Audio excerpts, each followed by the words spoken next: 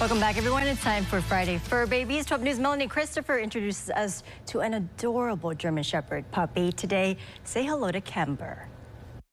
Hello, everyone, and welcome to this week's Friday Fur Baby segment. This is a part of the show where we feature an animal from the Metro that needs a home. And joining me is Judy Seabrook with the Mississippi Animal Rescue League. We refer to them as MARL. Who did you bring today, Judy? Okay, today we brought Kember. She Kember. is a four five month old German Shepherd.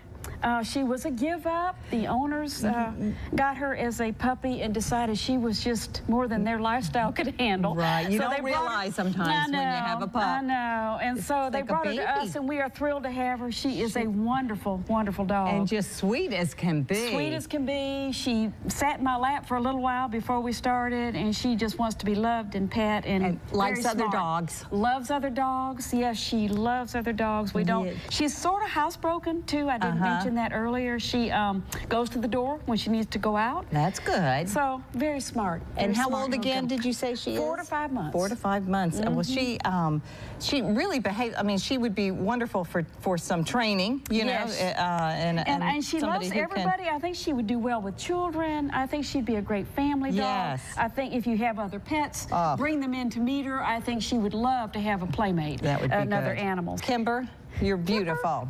also happening tomorrow, MARL is holding an adoption event. It's happening at the Hollywood Feed on I-55 Frontage Road at Highland Village. Village. Judy, tell us what that's about. Okay, it'll be from 11 to 2, and we take like six, seven animals, and we'll try to post their pictures the night before. If we post them too early, they get adopted, and then we don't have any dog Then you don't animals have any to to bring. But we'll take them, and it'll be there in Highland Village from 11 to 2, so come on out and visit us then. Wonderful. Yeah.